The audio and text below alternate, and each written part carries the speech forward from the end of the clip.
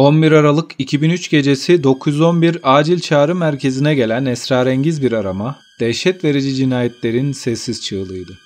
Çağrı merkezi çalışanlarının sessiz aramadan şüphelenmesi üzerine ekipler, adres tespiti yapmış ve aramanın Teksas'ta bulunan Mansfield'daki Wamsley ailesinin lüks malikanesinden geldiğini öğrenmişlerdi. Ailenin evine giden polis ekipleri hayatları boyunca unutamayacakları bir manzarayla karşılaştılar.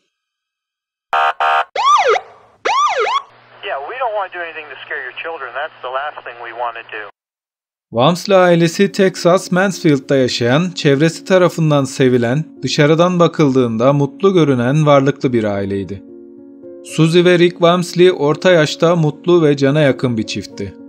Sarah adında bir kızları, Andrew adında bir oğulları vardı. Anne Suzy ev hanımıydı. Eşine ve çocuklarına çok bağlıydı.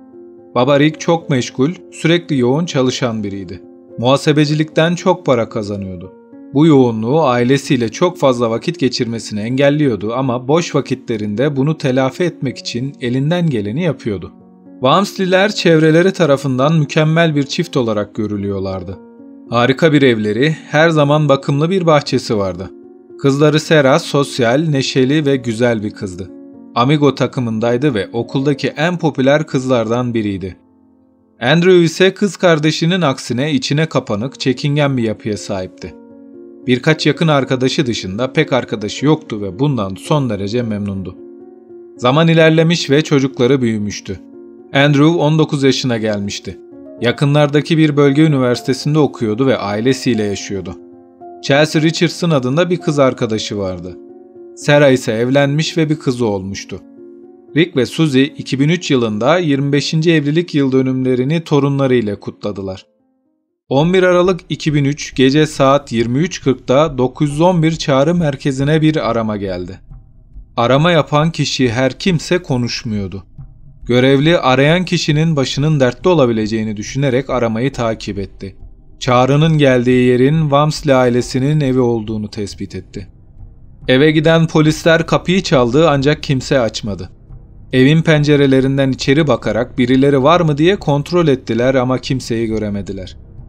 Bunun üzerine evin etrafında dolanmaya başladılar ve garaj kapısının açık olduğunu, eve giren kapının da kilitli olmadığını gördüler. Garaj kapısından içeri girdiler. Ev çok sessizdi.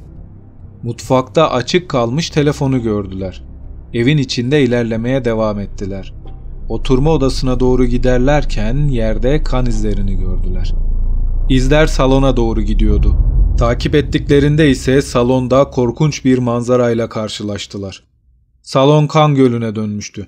Biri koltuğun üstünde, diğeri ön kapının ağzında yüzüstü yerde yatan toplam iki ceset vardı. Koltukta yatan Suzy Wamsley'di ve defalarca bıçaklanmış, bir el ateş edilerek başından vurulmuştu.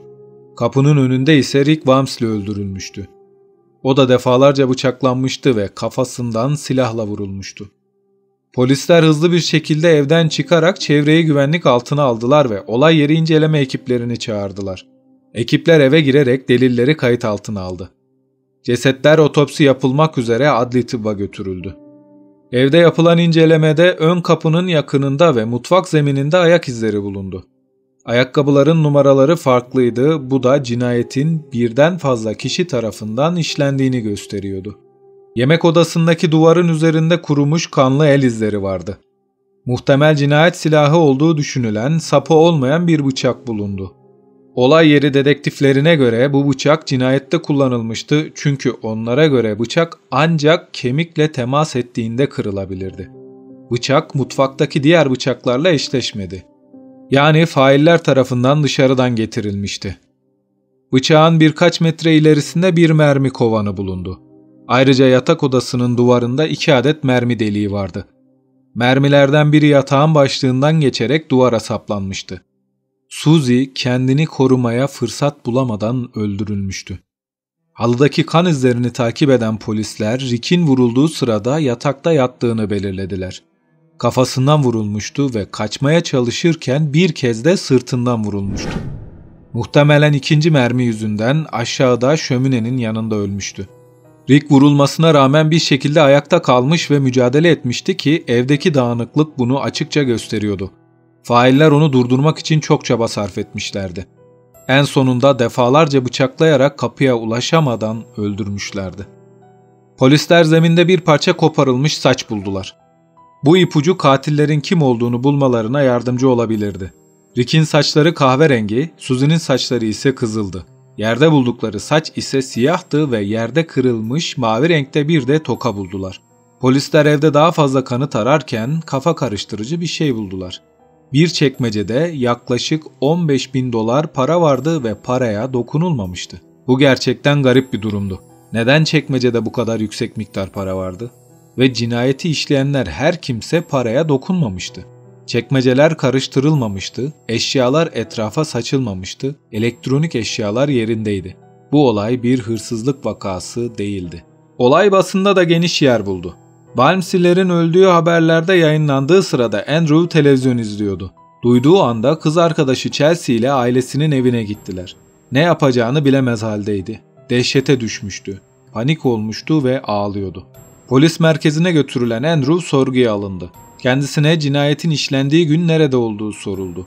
Kız arkadaşıyla birlikte kamp yapacaklarını ancak havanın soğuması üzerine fikirlerini değiştirdiklerini ve bir eğlence merkezinde sinemaya gittiklerini söyledi. Kendisinden sorgu sırasında DNA örneği alındı.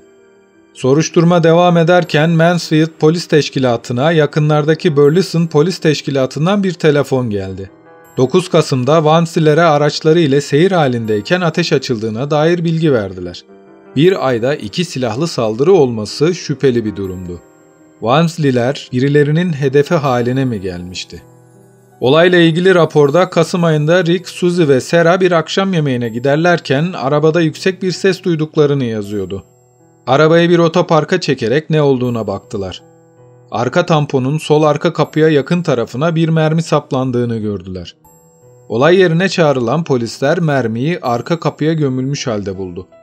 Walmsley'lerin evinde işlenen cinayette bulunan mermiler ve araçtan çıkan merminin balistik inceleme sonucunda aynı silahtan çıktığı tespit edildi. Rick ve Suzy'nin bir cinayet planının kurbanı oldukları artık belli olmuştu. Adli tıp Rick ve Suzy'nin cesetlerine otopsi yaptı. Otopsi raporuna göre Rick bir kez kafasından, bir kez de sırtından vurulmuştu, 21 kez de bıçaklanmıştı. Suzy ise kafasından iki kez vurulmuştu ve 18 kez bıçaklanmıştı. Rapora göre Suzy bıçaklanırken çoktan ölmüştü.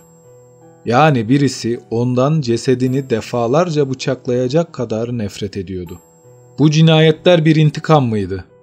Polisler mahalledeki komşulara aile hakkında neler bildiklerini, düşmanları olup olmadığını ve bunu kimlerin yapmış olabileceğini sordular. Evde ilginç bir durum daha vardı aslında. Cinayet esnasında Suzy aşağıda koltukta, Rick ise yukarıda yatak odasında uyuyordu. Komşulardan biri polise Suzy'nin Rick'ten boşanmayı düşündüğünü söyledi. Ayrıca bir hayat kurmak için paraya ihtiyacı vardı. O yüzden sürekli para biriktiriyordu ve 15 bin dolara yakın nakit para biriktirmişti. Boşanma durumu olayın gizemini daha da arttırmıştı. Acaba eşlerden biri diğerini öldürmek için birini mi tutmuştu? Belki de işler ters gitti ve tuttuğu kişi her ikisini de öldürdü. Polisler bu teoriyi düşünürlerken daha ilginç bir şey buldular. Evdeki belgeleri incelerken 1 milyon dolarlık bir sigorta poliçesi dikkatlerini çekti. Hepsi iki çocuğa bırakılmıştı. Polisler Andrew ile konuştuktan sonra Walmsley'lerin kızı Sarah'a odaklandılar. Araştırmalar ilginç gerçekleri ortaya çıkarmıştı. Walmsley'ler göründükleri kadar mükemmel bir aile değildi. Sarah asi bir kızdı ve kendinden yaşça büyüklerle çıkıyordu. Eve her zaman geç geliyordu ve anne baba bu durumdan hiç hoşlanmıyordu. Bu yüzden evde sürekli tartışma çıkıyordu. Durum öyle çığırından çıkmıştı ki Mart 1997'de Sarah lise mezuniyetinden birkaç hafta önce babası ile büyük bir tartışma yaşadı. Suzy ve Rick, Sarah'ın bu başına buyruk hallerine daha fazla tahammül edememiş ve onu evden atmışlardı. Sarah evden ayrıldıktan sonra Mansfield Üniversitesi'nde okuyan Todd adında bir adamla yaşamaya başladı. Rick ve Suzy Todd'dan olay çıkaracak derecede hoşlanmamışlardı. Sarah 19 yaşında hamile kaldı ve Todd'la evlenme kararı aldılar. Kızları dünyaya geldikten sonra bir süre iyi giden evlilikleri zamanla kötüleşmeye başladı ve ayrıldılar. İkisi de kızlarını çok seviyordu. Kızları için velayet savaşına girdiler ve kazanan Todd oldu. Kendisine tam zamanlı velayet verildi. Sera ise kızını sadece belirli zamanlarda görebilecekti. Sera'nın dengesiz davranışları vardı ve bu ailesini çok rahatsız ediyordu. 2001 yılında Sera kızının velayetini almak için tekrar mahkemeye başvurmuştu. Todd bu durumdan hiç hoşlanmamıştı. Polis Susie'nin Sera'nın davranışlarından rahatsız olduğunu, Todd'u hiç sevmediğini ve birçok kez duruma müdahale etmekle tehdit ettiğini öğrendi. Suzy çok tatlı ama ihtiraslı bir kadındı. Onu kızdırmak pek de akıllı bir seçim değildi. Sera 12 Aralık'ta polis merkezinde dedektiflerle buluştu. Dedektifler Sera'nın velayet savaşını biliyorlardı ve bu yasal mücadelede paraya ihtiyacı olacağını düşündükleri için onu baş şüpheli olarak birinci sıraya koydular. Sera cinayetten 48 saat öncesine kadar nerede olduğuna dair detaylı bir ifade verdi.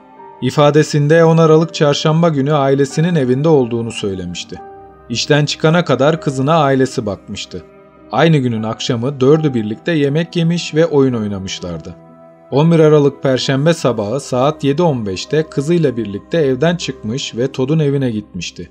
Kızını babasına bırakarak işe gitti. Akşamda bir iş arkadaşıyla eve dönmüş ve geceyi birlikte geçirmişlerdi. Sabaha karşı saat 4.30'da polisler kapısını çalmış ve annesiyle babasının öldüğünü söylemişlerdi. Sera mantıklı bir ifade vermişti ve akla yatkındı. Kendisinden DNA örneği alındı ve gönderildi. Bir sonraki durak Andrew'un kız arkadaşı Chelsea oldu. İkili Chelsea'nin annesinin de yaşadığı evde birlikte kalıyorlardı. Kendisine cinayet sırasında Andrew'un nerede olduğunu sordular. Andrew ile benzer ifadeyi veren Chelsea, salı akşamı Andrew ile kamp yapmak için ailesinden izin almıştı. Hava bozunca da planlarını iptal edip bir eğlence merkezinde mini golf oynamışlar ve ardından bir restoranda arkadaşlarıyla buluşmuşlardı. Chelsea izin saati olan bir de eve dönmüştü. Dedektifler Wensley ailesine yakın olan herkesi araştırıyorlardı. Bu sebeple Chelsea ve Andrew'un yaşadığı evde bulunan herkesin DNA örneğini almak için izin çıkardı. Chelsea'nin birçok arkadaşı belirli aralıklarla evinde kalmıştı. Bu sebeple birçok kişiden örnek almaları gerekiyordu. Dedektifler Chelsea'nin evini araştırırken karşılaştıkları manzara onları çok şaşırtmıştı. Her yer pislik içindeydi ve darmadağınıktı. Öyle ki cinayet silahı olan bıçağın kayıp sapını aramak için açtıkları mutfak çekmecesinden üzerlerine böcekler fırlamıştı. Evde iğrenç bir ortam vardı. Andrew gibi varlıklı ve temiz bir ailede yetişmiş birisi nasıl böyle bir ortamda kalabiliyordu? Dedektifler Chelsea'nin evini aradıktan sonra Todd ve Sarah'ın velayet mücadelesine yöneldiler. Sarah'ın velayet davası için maddi kaynağı ailesi sağlıyordu. Susie'nin Todd'u sevmediği biliniyordu. Todd bu duruma daha fazla dayanamayıp ikisini de ortadan kaldırmış olabilir miydi? Polisler Todd'a birkaç soru sormak için eve gittiler. Suzy ve Rick'in öldüklerini söylediklerinde Todd çok şaşırmış ve üzülmüştü. Birkaç soru sorduktan sonra ifade vermek için karakola gelmesini söylediler ve oradan ayrıldılar. Todd karakolda kendisine cinayetten önceki hafta neler yaptığı sorusuna sağlam bir mazeret öne sürdü. Kendisi tesisatçıydı. İfadesinde de farklı zamanlarda birçok yere işe gittiğini yazdı. Polisler tarafından ifadede yazan tüm kişiler ve yerler teyit edildi. Verdiği ifade doğruydu. 30 Mart'ta toplanan DNA örneklerinin sonuçları çıkmıştı. Laboratuvar sonuçları herkesi çok şaşırtmıştı. DNA sonucuna göre evde bulunan saç Susana Toledano'ya aitti. Susana Toledano, Chelsea'nin evinde kalan yakın bir arkadaşıydı. Annesiyle tartışmıştı ve uzun süredir Chelsea ve Andrew ile aynı evde kalıyordu. Muhtemel şüphelilerin dışında bir isim çıkmıştı ortaya. Polisler hemen Chelsea'nin evine gittiler ancak Suzanna artık evde değildi. Chelsea'de nerede olduğunu bilmiyordu. Dedektifler Suzanna'nın cep telefonu kayıtları için arama izni çıkardılar ve telefonunun Chicago'da kayıtlı olduğunu buldular. Polis telefon sinyallerinden Suzanna'nın Illinois'da olduğunu tespit etti. Mansfield Polis Merkezi hemen Illinois Eyalet Polisi ile iletişime geçerek Suzanna'nın bulunması için yardım istediler. Cep telefonu sinyallerinden tam konumu tespit edildi ve amcasının evinde bulundu. Mansfield polisinin talebi üzerine Susanna tutuklanarak Illinois Polis Merkezi'ne getirildi. Tekrar bir DNA testi yapılarak o gece Wemsley'lerin evinde olduğu kesinleşti. Gözaltında bulunduğu sürece düşünme fırsatı bulan Suzan'a dedektifler gelir gelmez konuşmaya başladı. Cinayet gecesi bölgede bir restoranda çalışan Hilario adında biriyle akşam yemeğine çıktığını söyledi. Hilario, Andrew, Chelsea ve Susanna'nın çok sık gittikleri bir restoranın müdürüydü. Susanna yemek sonrası restorandan çıkıp arabaya bindiklerini, Hilario'nun arabayı Wemsley'lerin evine doğru sürdüğünü söyledi. Beraber eve girdiklerini, sonra iki el silah sesi ve Rick'in hayır hayır diye bağırdığını duymuştu ve hemen evden ayrıldığını söyledi. Hilario evden çıktıktan sonra kendisine bundan kimseye bahsetme demiş. Dedektifler Hilario'nun nerede olduğunu sorduğunda bilmediğini söyledi. Uzun bir aramanın sonunda Arlington'daki restoranın müdüründen bir bilgi aldılar. Hilario kısa bir süre öncesine kadar restoranda çalışıyormuş ancak kovulmuş. Hala Teksas'ta yaşıyordu. Hilario Cardenas yasa dışı silah taşımak ve marihuana bulundurmaktan tutuklanmış ancak serbest bırakılmıştı. Evine giden dedektifler kendisine cinayet şüphelisi olduğunu söylediklerinde şaşırmış, cinayeti işlemediğini ancak kimin işlediğini bildiğini söyledi.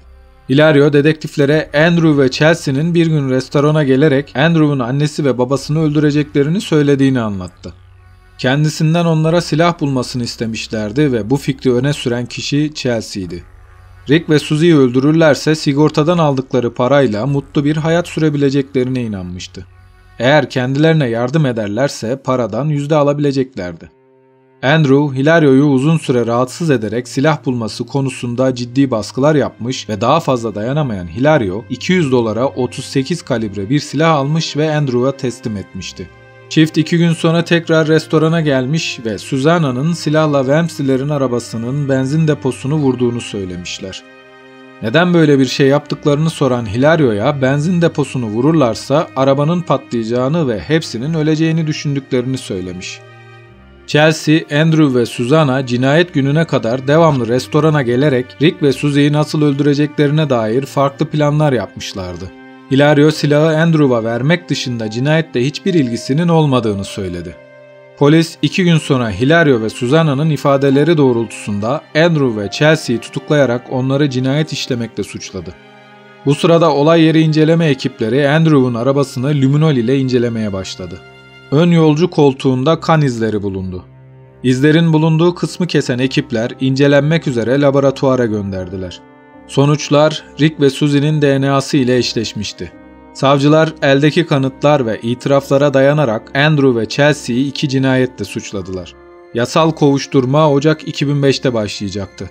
Andrew, Chelsea ve Susanna idam cezasıyla karşı karşıyaydılar. Hilario Cardenas ise savcılıkla anlaşarak cinayet işlemek için komplo kurmak suçunu kabul etti ve yargıç onu 50 yıl hapis cezasına çarptırdı.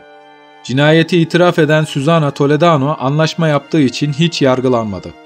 Suçu birinci derecede cinayetten sadece cinayete indirildi ve işbirliği yaptığı için ölüm cezasıyla yargılanmayacaktı. Ama savunma avukatları jüriyle şanslarını denemek ve mahkemeye çıkmak istedi. Suzana ile tanık kürsüsünde yüzleşeceklerdi. Chelsea Richardson'ın mahkemesi Mayıs 2005'te başladı ve savcılar Suzana'yı kürsüye çağırdılar. Suzana mahkemede ifade verirken hikayesini tamamen değiştirdi. Kürsüdeyken Chelsea'den 10 Aralık'ta bu gece o gece hazırlan diye bir mesaj aldığını söyledi. Eve girdiklerinde kendisinin tereddüt ettiğini ancak Chelsea'nin sürekli hadi Suzana devam et yapabilirsin dediğini söyledi. Tereddüt etmişti ve bu yüzden Chelsea'nin kendisini itekleyerek yap şunu dediğini anlattı. O anda salona giren Suzana koltukta yatarken Susie'yi görmüş ve ilk vurduğu kişi o olmuştu. Ardından yatak odasına giderek Rick Wamsley'e iki el ateş ettiğini ve bir kez kafasından vurduğunu söyledi. Rick yataktan kalkarak Suzana'ya saldırmış ve aşağıdaki şöminenin önüne gelene kadar boğuşmuşlardı. Rick Suzana'yı alt ettiği sırada Andrew devreye girerek babasını üzerinden çekmiş. Bu sırada Chelsea ise Rick'i acımasızca bıçaklıyormuş. Cinayetleri işledikten sonra evden çıktıklarını ve cesetlerin bulunmasını beklediklerini söyleyen Suzana, 18 saat sonra hala evden bir ses çıkmadığını ve kimsenin polisi aramadığını söyledi. Eve geri dönüp 911'i aramışlar ve telefonu açık bırakarak evden ayrılmışlar. Jüri 3 saatlik bir görüşmenin ardından Chelsea'yi birinci derece cinayetten suçlu buldu. zehirli iğneyle ölüm cezasına çarptırıldı. Ocak 2012'de ise ölüm cezası ömür boyu hapis cezasına indirgendi. 5 Mart 2006'da aynı tanıklar ve aynı kanıtlarla yapılan duruşmada bu sefer yargılanan Andrew Wamsley'di. Ve o da ebeveynlerini öldürmekten birinci derece cinayetten suçlu bulundu. Ölüm cezası almaktan çok korkuyordu. Onun adına ailesinde hiç kimse konuşmak istemeyince en yakın ve çocukluk arkadaşı Clint Ashley'den yardım istedi. Yaptığı konuşmayla jüriyi etkileyen Clint, arkadaşının ölüm cezası almasını engellemişti ve cezası 10 Mart 2006'da müebbet hapis cezasına indirildi. Susana Toledano ömür boyu hapis cezasına çarptırıldı. Rick ve Suzy öldükten sonra aile dağıldı. Sarah, kardeşi Andrew ile bir daha hiç görüşmedi.